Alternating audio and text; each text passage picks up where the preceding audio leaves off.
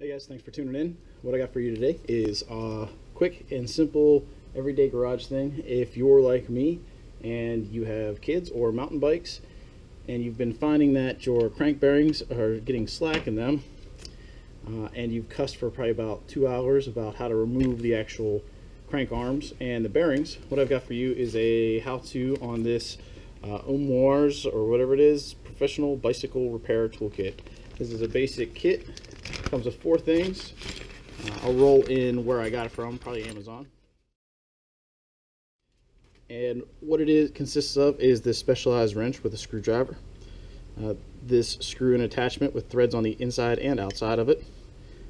This special uh, socket.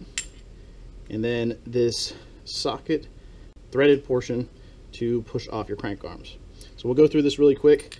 Uh, this is a great little tool, uh, pretty inexpensive and easy to use. First thing we're going to do is remove our dust cap. I can do that with my wrench here. And as you see, we have a bolt. Sometimes this is a nut, but this is uh, most likely is going to be a, a nut in your case, but uh, this is a bolt. Uh, we're going to use the uh, silver socketed portion, we're going to feed it in there. One problem you come across is a regular socket won't fit inside of this area here. So we'll put that on there. We'll see if we can. Yeah, just hand tight. Unscrew that. There's that bolt.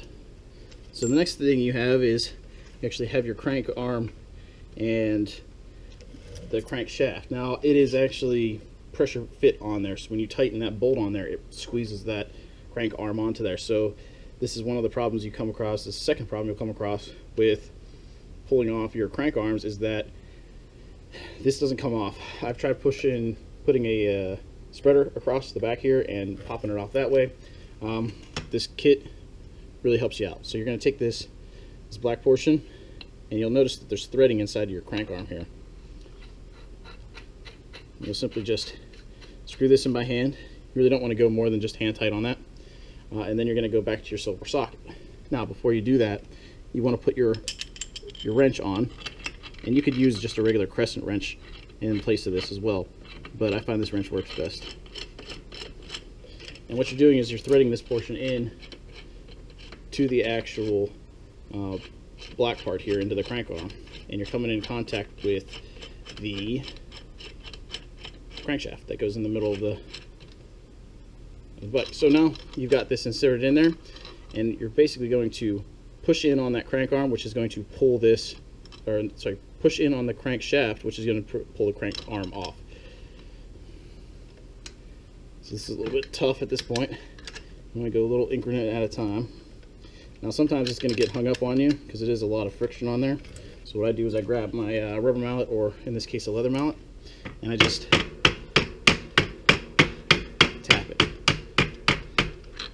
I'm not tapping too awful hard.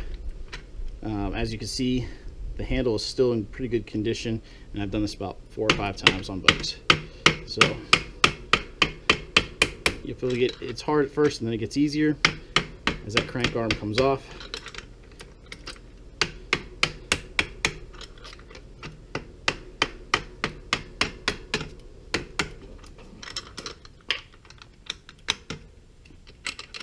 what will end up happening is your crank arm will just come off. So there in less than five minutes, I've already gotten the crank arm off without having to uh, break out the heavy artillery. So from this point on, I'll take our specialized socket, and you see all these teeth right in here. Our specialized socket meshes in with those. All right, now that our crank arm is off, what I'm going to do is take off this outer threaded portion here. Just going to get a screwdriver, and there's a wrench, but it doesn't come in this kit and I'm going to unscrew.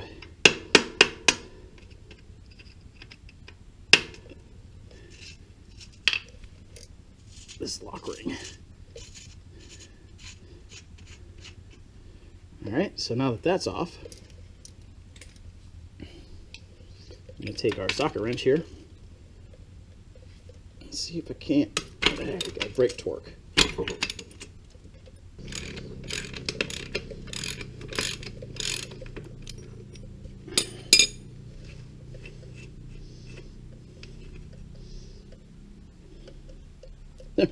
And now we're at our bearings. As you can see, this tool really helps out. A little bit of struggle in there at the at the end there because of uh, the corrosion inside the lock bolt, but uh, this actually saves you so much time. Definitely worth it if you're going to be taking off and putting on uh, main crank bearings or anything like this. So, uh, thanks for watching. Hope this helped out, guys.